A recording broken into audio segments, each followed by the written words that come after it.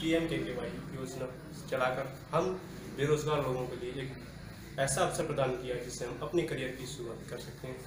नाम ब्रजपाल मैं एक R S P L select हुआ हूँ सेल्स प्रमोटर के पद पर, जिससे मुझे बेहद खुशी है एंड मेरे परिवार में भी खुशी है कि मुझे अपने करियर को शुरुआत करने का मौका मिला है। Thank you M S T D P